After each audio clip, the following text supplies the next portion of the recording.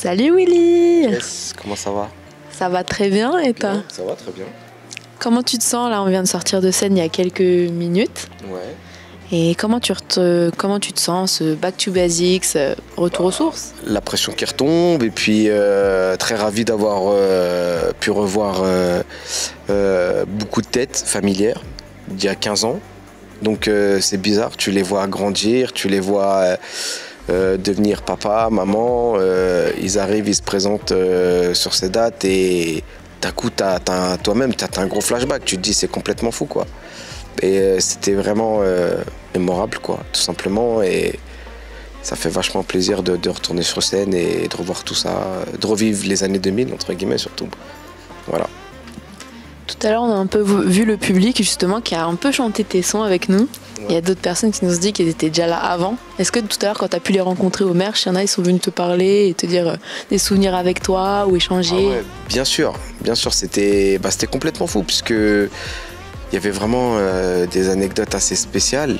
Non mais en, non, mais en gros, euh, ouais, il y avait des belles anecdotes parce que il y en a, euh, vu que ça fait 15 ans, bah, il y a 15 ans en arrière, elle pouvait pas venir en, concert simplement.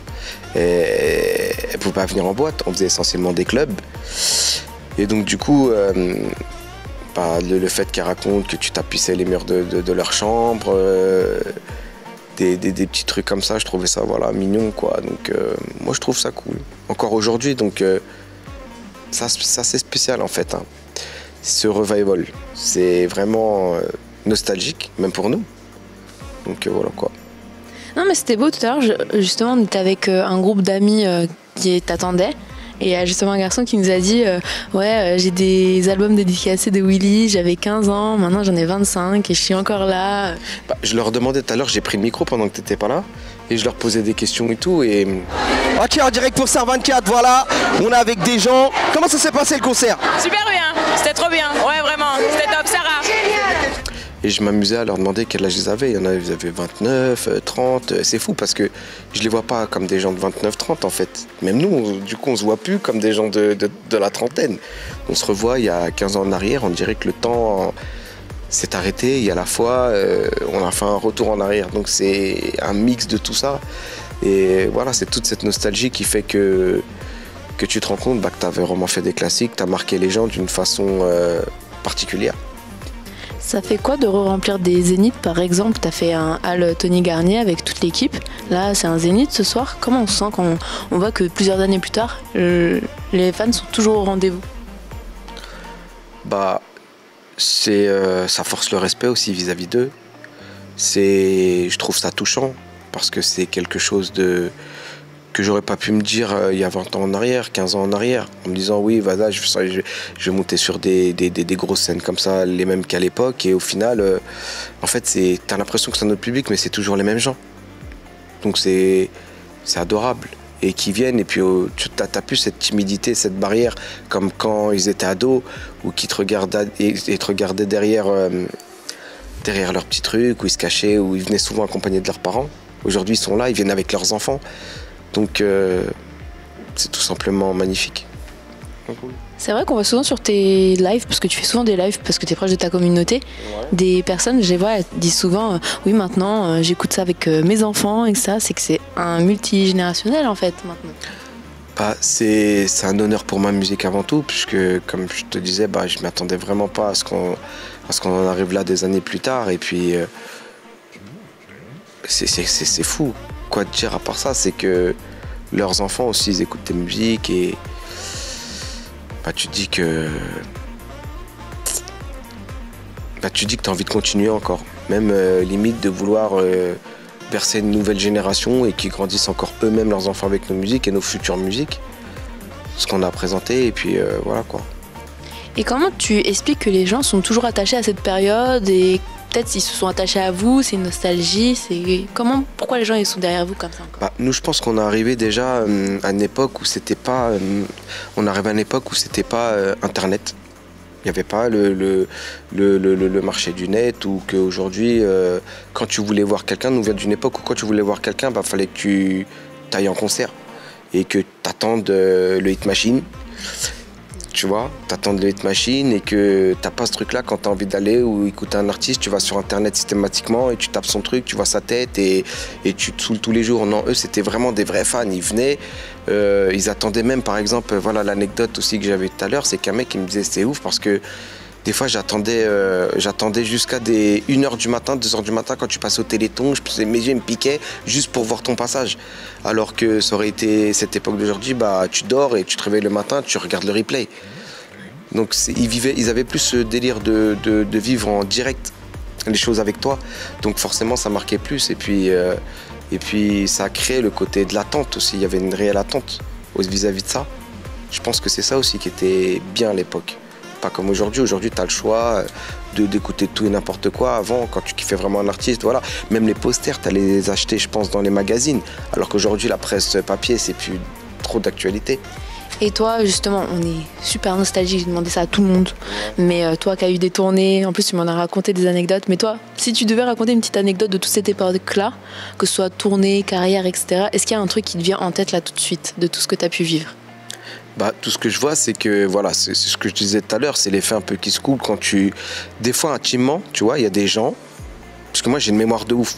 Il y a des gens qui me disent Ah, tu te rappelles de moi, il y a tant d'années et tout. Et je leur dis non sur le coup, mais en rentrant dans la discussion, bah, je les revois quand ils étaient plus jeunes. Mais je le garde pour moi, en fait.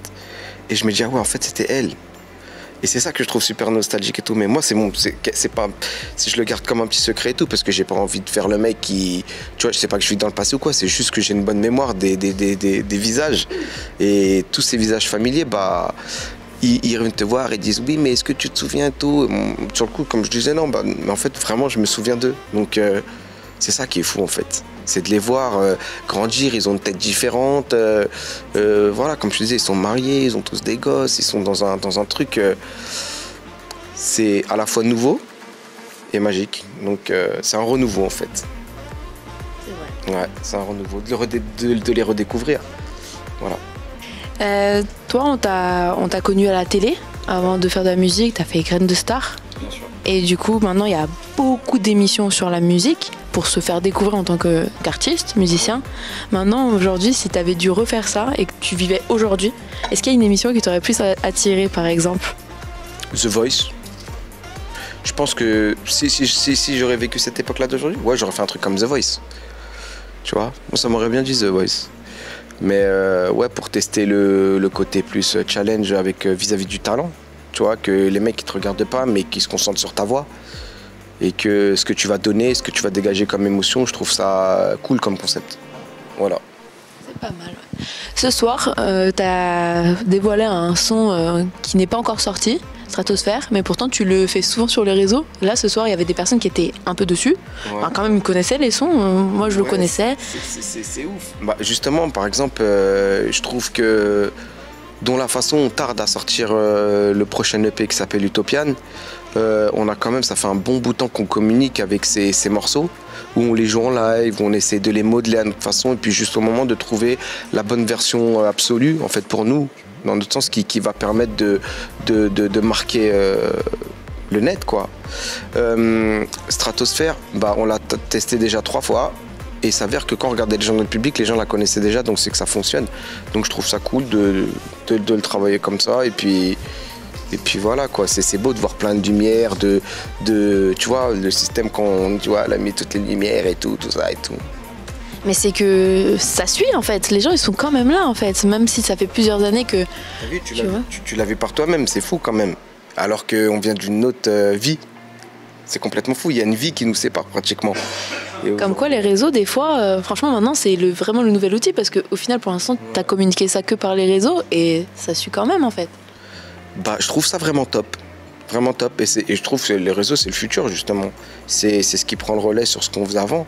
Et c'est vrai que c'est important de communiquer sur les réseaux, d'être proche des gens, de partager des choses, euh, de partager des choses à la fois euh, où qu'ils ont cette impression d'avoir ce privilège, d'avoir une intimité avec toi, dans le sens où, où euh, des moments présents d'aujourd'hui.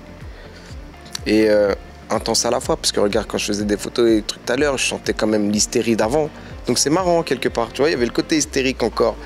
Mais sauf que c'est plus pareil, tu vois. Ils sont pas là à boire biberon, ils boivent de l'alcool. tu vois. Ils sont bourrés, ils sont là, mais c'est mignon, quoi. Il y a des gens qui attendaient en plus encore à la sortie, quoi, comme, euh, comme avant. Donc euh, c'est que les gens, ils sont là, ils revivent le truc jusqu'au bout, en fait. Bah, c'est ce que je disais, par exemple, tout à l'heure à Taïla, euh, quand tu marches là, par exemple, la voiture est pas, t'entends Willy. Tu marches de l'autre côté, t'entends Willy. Tu vois, ça, ça- c'est- tu dis, oh, t'es dans une ville que tout le monde connaît, t'es t'es archi coté. tu vois. Ouais, c'est cool. Il y a quelques secondes, tu m'as parlé d'Utopian. Du coup, euh, c'est que tu as d'autres projets. Pour ceux qui sont peut-être pas forcément au courant, est-ce que tu peux nous dire où tu en es et qu'est-ce que tu prévois en dehors de Back to Basics? Bah, Utopian, bah, il arrive là.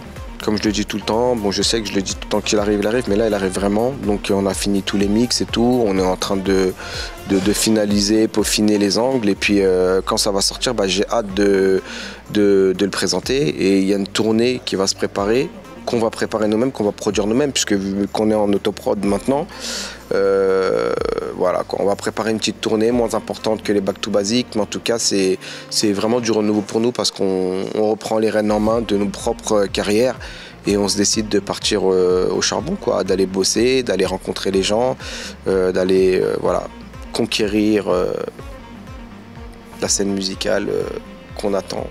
Et pour les gens qui seraient curieux, qu'est-ce qu'on peut s'attendre avec euh, Willy Denze en 2019 Qu'est-ce qu'est-ce que- qu'est-ce qui est devenu Willy Denze Est-ce qu'on peut attendre du Willy Denze d'avant? C'est du nouveau? Comment tu peux nous vendre ton projet?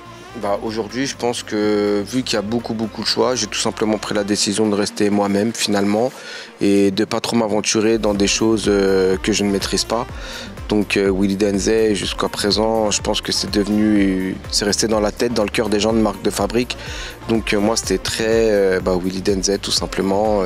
Ceux qui me connaissent bah, me retrouveront comme ils m'ont laissé parce que euh, c'est pas vraiment un vrai renouveau, c'est une continuité tout simplement. Donc que ce soit dans les balades, dans les textes, dans tout ce qui se passe et tout, il y a tellement de choses diversifiées qu'en vérité, j'ai pas besoin d'essayer de me tenter dans plein de choses complètement folles. Euh, donc cette EP là, ils vont retrouver exactement le même Willy Denze qu'il y avait avant, mais en plus techniquement parlant, au niveau du chant, au niveau de l'écriture, au niveau de la maturité bien évidemment. Euh, et puis voilà quoi. Mais après sur l'album c'est notre histoire. J'aimerais m'aventurer sur quelque chose de complètement nouveau. Donc le risque, je ne vais pas le prendre maintenant, mais pour l'instant, je me contente de, de voilà, de d'essayer de toucher et me servir de cette nostalgie justement pour regrouper tous les gens qui étaient éparpillés euh, dans les quatre coins de l'hexagone de la France en fait. Dans les quatre coins de la France on va dire l'hexagone c'est trop grand. Dans les quatre coins de la France. Et, euh, et puis voilà quoi d'y aller petit à petit à tâtons tout simplement. Et puis euh, j'ai confiance donc euh, je préfère m'attendre au pas au plus bas mais je préfère m'attendre à quelque chose de cool et d'être et peut-être d'être agréablement surpris plus tard. Je sais pas, Dieu, Dieu seul sait quoi. Donc on peut te souhaiter quoi au final? Bah, qu'est-ce qu'on peut me souhaiter? Une bonne santé avant tout, parce que sans santé on fait rien. Et surtout, ce qu'on peut me souhaiter, euh, euh, une belle tournée de paix. Une belle tournée de paix pour remettre le pied à l'étrier et puis, euh, et puis voilà quoi. Bah, en fait, euh, le, design euh, de mon label, Stratos, pour justifier un peu euh, ce que c'est, c'est un casque de Spartiate. En fait, c'est vraiment l'état d'esprit Brotherhood. En fait, c'est Brotherhood, c'est un état d'esprit tout simplement qui, bah, qui représente ce qu'on a à l'intérieur. Et nous, ce qu'on a envie, en fait, c'est de partager et c'est de fédérer. Donc voilà, aujourd'hui, je pense que le monde, il est devenu individualiste et que tout le monde euh, pense qu'à sa gueule.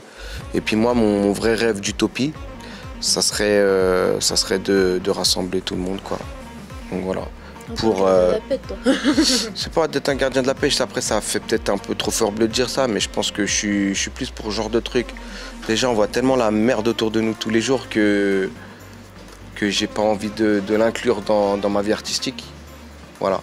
Donc voilà, c'est le message que j'aimerais être porteur de ce message-là et de ces valeurs, surtout, d'être dans le partage et d'inciter les autres à réussir. Et puis, moi, je suis admiratif des gens qui réussissent, tout simplement. Que ce soit dans le domaine professionnel ou dans la vie, euh, je suis pas du genre à souvent me plaindre. Donc voilà, c'est ce que ça représente. Brotherhood, euh, Stratos, c'est voilà, on roule comme une confrérie et petit à petit, je sais qu'une confrérie, c'est comme ça. Et voilà, par la force euh, du message, on souhaite que ça se propage. Donc, ce qu'on peut me souhaiter, c'est que notre Brotherhood, ça devienne une nation. Voilà. Et vu qu'ils aiment toujours un petit peu euh, les petits refrains ou les petits extraits, tu nous fais un petit truc à cappella, vite fait. Si personne ne fait rien, coupables nous serons de ces orphelins. Voulez-vous vraiment que tout s'arrête? Si ça continue, votre tour viendra peut-être.